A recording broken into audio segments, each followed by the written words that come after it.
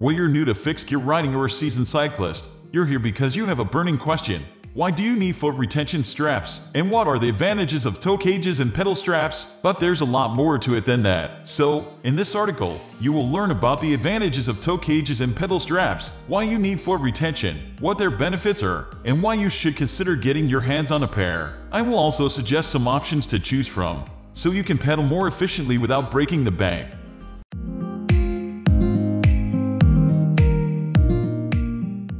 What are toe cages? Toe cages, also referred to as toe cages, are frames that attach to the front of platform pedals and surround your toes. They allow you to pull the pedal on the upstroke, giving you a more controlled, powerful, and efficient stroke. Some toe cages come with adjustable straps to secure your foot. Toe cages should not be confused with pedal straps. What are pedal straps? Pedal straps are similar to a toe cage in that they allow you to pull the pedal on the upstroke. However, there are some disadvantages. Unlike toe clips, which attach to the front of your foot, pedal straps go around and over your foot, securing them into place from the sides rather than the front. In addition, pedal straps are relatively inexpensive and come in various colors and styles, making them excellent for fixie customization. What are clipless pedals? Clipless pedals are considered one of the most significant bicycle innovations of all time. Clipless pedals are an entire pedal system that includes pedals and cleats that attach to the bottom of specially designed cycling shoes. Clipless pedals work similarly to skis in that they clip on and off your foot. You will need to select pedals and shoes that work together to use the clipless system. Everyday sneakers won't do. This makes them a far more complicated and expensive option, so this foot retention system may not be for everyone.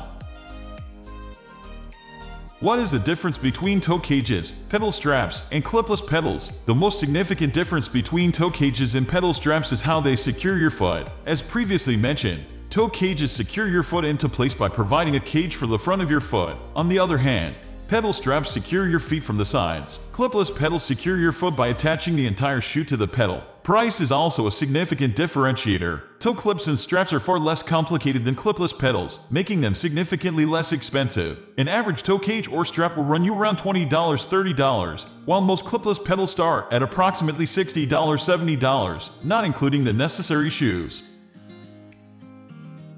What are the advantages of toe cages and pedal straps? A few years ago, I was biking on the side of the road, and I wanted to accelerate quickly, so I stood on the pedals and exerted more pressure, and with all my weight bearing down, my foot slipped off the pedal and I ate dirt. The crash was awkward, ugly, and painful. I was lucky not to get hit by any vehicles as I plowed into the asphalt. An incident like this shakes your confidence. A few weeks after the accident, I got a set of toe cages, and I've never looked back. I never experienced my foot slipping off a pedal with toe cages, not even in the worst of winter conditions, and I regularly ride throughout the winter, snow or otherwise. Are toe clips better than toe cages for foot?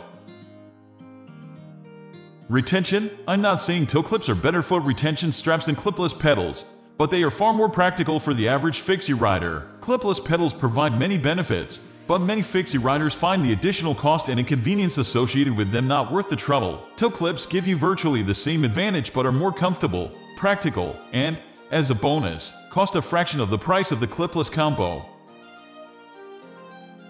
We are going to end this video right away. If you have any query or information to share, please leave a comment below. Thanks for watching.